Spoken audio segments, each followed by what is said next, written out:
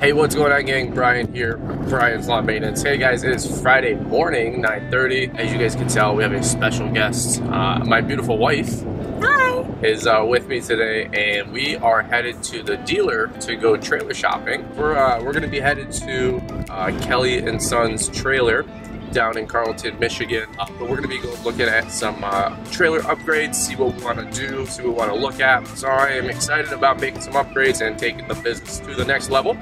Um, but anyway, we'll do some fun video for you guys along the way. Next time we'll catch up with you guys. We'll probably see you there at the dealer, right? So, fair enough. All right, cool.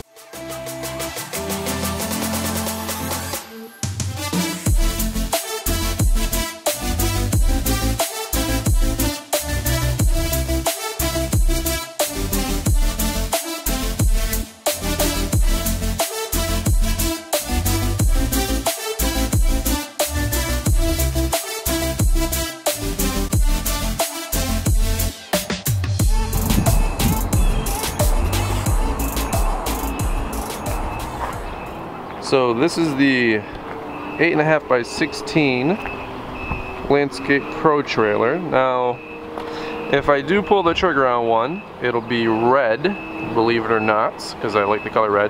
Actually, I like the silver here even, but um, I don't know, I just kind of thinking about the red. I was originally gonna go with a dark gray color, but uh, get some uh, signage on the side, some white vinyl, you know, just uh, lettering which is uh, sometimes pretty expensive for all you guys that have had your trailers wrapped and signed. You know how that goes. So one of the reasons I'm coming back to Sure-Trac is a couple reasons. One, they make a fantastic trailer. They really do. This one right here, like I said, this is kind of their flagship. Uh, Brickman and a lot of the big guys, BrightView, I think they are now, uh, use this trailer.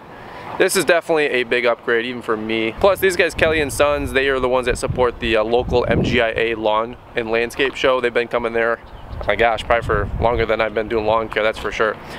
Um, but it's just a huge dealer, man. Uh, it's about 45 minutes away in Carleton, Michigan. I feel like I'm doing the uh, Brian Top Notch spin with the camera. but uh, this is uh, the one that we're looking at, like I said, the Landscape Pro Series. We got the uh, seven and a half by, no, eight and a half by 16. Got the aluminum rims, the side RV door, uh, the bigger axles, 3,500 pounds, I think. Let's see if I can get the, uh, the back side for you guys. We're gonna get the upgraded vents, so we got some more ventilation. We got the Euro style lighting, uh, all the RV style locks. Pretty straightforward. Got the heavy duty hinges. This one has six. I know a lot of trailers have like two, four, you know, but uh, some of the features on here we don't need. We're not gonna be getting like the, uh, the jacks for balancing I'm not going to be ever really staging this trailer. That's more for, uh, for their show. Let me take you guys inside.